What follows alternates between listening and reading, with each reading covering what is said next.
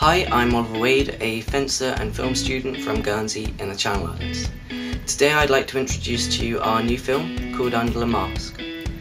The whole point behind Under the Mask is to create not only a great documentary and get it distributed as widely as possible, so hopefully uh, broadcast, but also um, inspire the public to start fencing or at least try it. Um, we've put together this short video um, and it's going to display some of the sort of stuff you'll see in the film.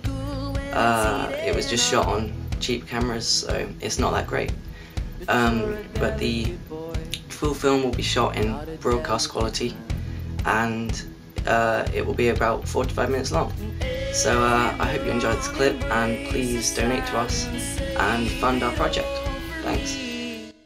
The following Indiegogo video was shot on a low cost camera at a single junior fencing event.